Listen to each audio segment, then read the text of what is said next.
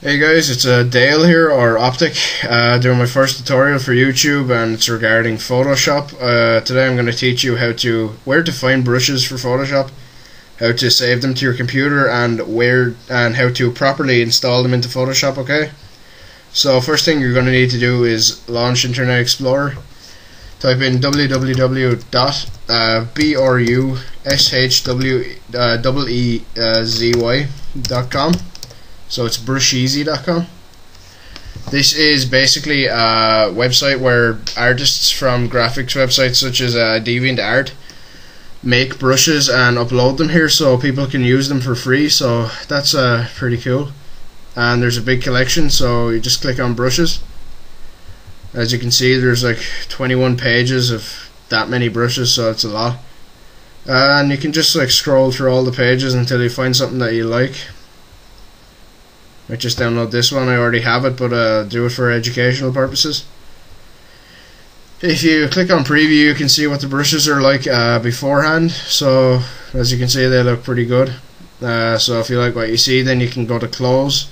If you don't, then you can just go back and find some more. Uh, but uh, I like these, so I'm going to click download and then all Windows operating systems are going to ask you do you want to save it? You just click save. Uh, it's going to be a compressed folder so you're going to have to extract it okay? Which I'll show you how to do later on. Uh, so you just click it asks you which folder you want to save it to. Uh, I save everything to pictures because it's handy. Okay so you click save. It already exists because I already have it so I just go click yes. It'll only take about 5 seconds to download okay so when that's downloaded just uh, it'll give you the option to click open open folder or close. So you're going to want open. And I'm using Vista so I have to give my permission so allow. And here you go. You should just get this here. So you're going to extract all files because it's compressed. It's a zip file. Uh, so you're going to extract. And you will get the non-compressed version so the ABR file or the brush file and uh, you can delete the old one you can X out of it. So the next thing you want to do with this is you want to open up Photoshop. I'm using Elements 7.0 it's basically the same as all the other Photoshops. Uh, you go to the right hand or the left hand side and you click on the brush tool okay in your selection tools. And this thing should pop up this brush selection box. So you click the drop down menu to bring down all your brushes and this it's different to CS4 because you uh, you have different sets of brushes. In CS4 you just have one big list of all your brushes. But in this like you need to go to the drop down menu and click different ones to bring up different brushes okay? So anyway you're gonna see this little double arrow here on the right hand side.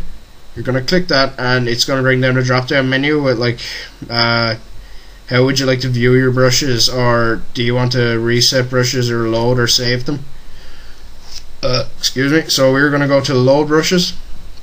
This will bring into your folders and you'll have to find the folder and the file that you saved it to. Or if you've done it like I have you're just going to bring up the non-compressed file here. And you're going to and you're going to double click that. The fucking webcam thing keeps coming up. You're going to double click that and drag it over into the the folder. So it should pop up there. And then you are going to double click it and then it should come up in your in your brush files. Alright? So uh, that's basically all you have to do to get them into your Photoshop archives. You can try, try them out if you want. Blank file that one A bit too big. So you're just going to go up to your size bar here beside your brush selection thing and you just bring it down to whatever size you want. They look pretty good. So yeah, that's basically all you have to do to find, load and save brushes. So I hope it was helpful and if you want to subscribe you can. If you have any comments, bad or good, you can leave them in the comments box. And any questions you want to ask me about this or anything you want me to do in a in a specific area, of Photoshop and I'll be doing a few YouTube videos as well so or videos of, about YouTube I should say. So uh, yeah so subscribe to me if you can and um, I hope it was helpful. So this is Dale or Optic so bye bye then